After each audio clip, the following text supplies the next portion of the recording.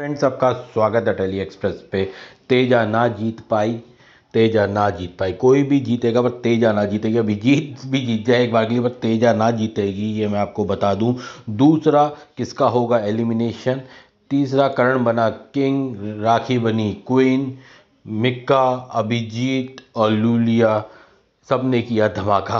अभिजीत का धमाका तो समझ में नहीं आया मुझे। क्या है सारी बातें हम आपको बताएँगे अपने इस वीडियो में आगे, पर उससे पहले प्लीज़ हमारे इस वीडियो को लाइक कीजिए, ज़्यादा से ज़्यादा शेयर कीजिए। अगर आपने हमारे चैनल को सब्सक्राइब नहीं किया तो प्लीज़ हमारे चैनल को सब्सक्राइब ज़रूर कीजिए। एलिमिनेशन जो होगा, वो कल दिखाया जाएगा। पर मैं इसमें ये बता दूँ, अगर ये वोटिंग के हिसाब से एलिमिनेशन होता है तो उसमें क्लियर है क्लियर अभिजीत और देवो ही निकलेंगे, क्योंकि एज़ पर एलिमिनेशन रश्मि सेव थी। पर जब यहाँ पे इस घर से लॉयन को निकाला जा सकता है, शेर उमर रियाज को निकाला जा सकता है तो किसी को भी निकाला जा सकता है।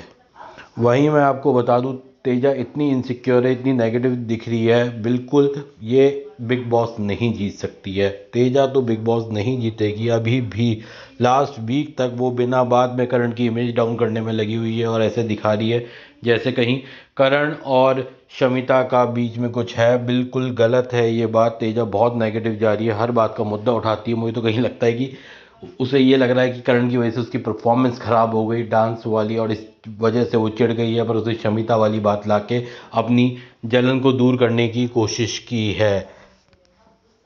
और दूसरी बात जो सबसे बड़ी बात है इसमें वो ये है कि कर करण का डांस बहुत बढ़िया था बड़ा एंटरटेनिंग था हँसी आ रही थी पर काश हमारा उमर भी होता तो दोनों का डांस बहुत सही लगता है इन दोनों की जोड़ी बहुत बढ़िया से उमर ने कहा था कि मेरी और करण की जोड़ी बे, बेटर है। करण और उसकी जोड़ी से तेजा की।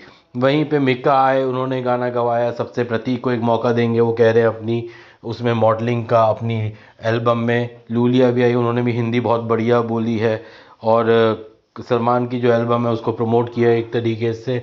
वहीं पे अभिजीत का गुस्सा क्यों आया मुझे समझ में नहीं आया, कोई चीज़ समझ में नहीं आया। अभिजीत भी क्या बोलता है, किसी के बाप को समझ में नहीं आता तो हमें क्या आएगा भैया? उसको खुद समझ में नहीं आता, वो क्या बोलता है?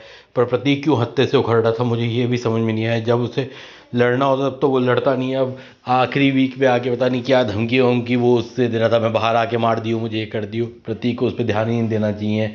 पर मैं आपको बता दूँ जितना मैंने देखा है बिग बॉस मुझे नहीं लगता कि तेजा जीतेगी। तेजा के अलावा कोई भी जीत जाएगा, पर तेजा नहीं जीतेगी। एक बार के लिए मैं फिर रिपीट कर रहा हूँ, अभिजीत जीत जाएगा, पर तेजा नहीं जीतेगी। बाकी दूसरी बात यह है कि एविक्शन में मुझे लगता है एलिमिनेशन होना चाहिए कायदे से।